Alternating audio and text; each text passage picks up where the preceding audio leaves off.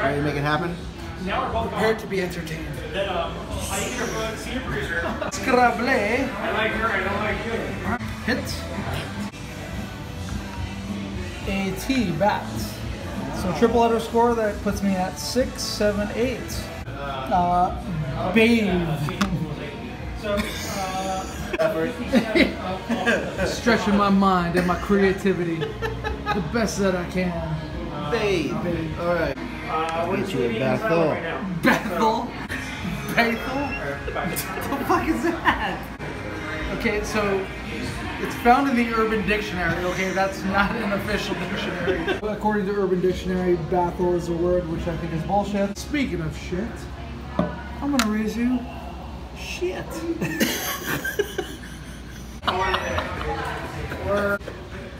That's so You didn't even spell it right, dude. So I can't do that one. Luckily, I got another yes here, so we're gonna go shits. How are we gonna beat my shits? Rixie? Rixie? do, do you mean risky? I can almost guarantee you it's not a fucking word, man. Alright, so you got Rixie? Well, guess what we got?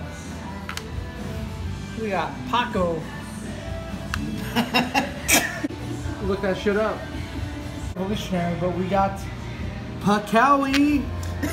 That's actually pretty convenient, but you can see it right there. Limited supply too, so The project manager doesn't Very cool. any of that. Got the Michelada.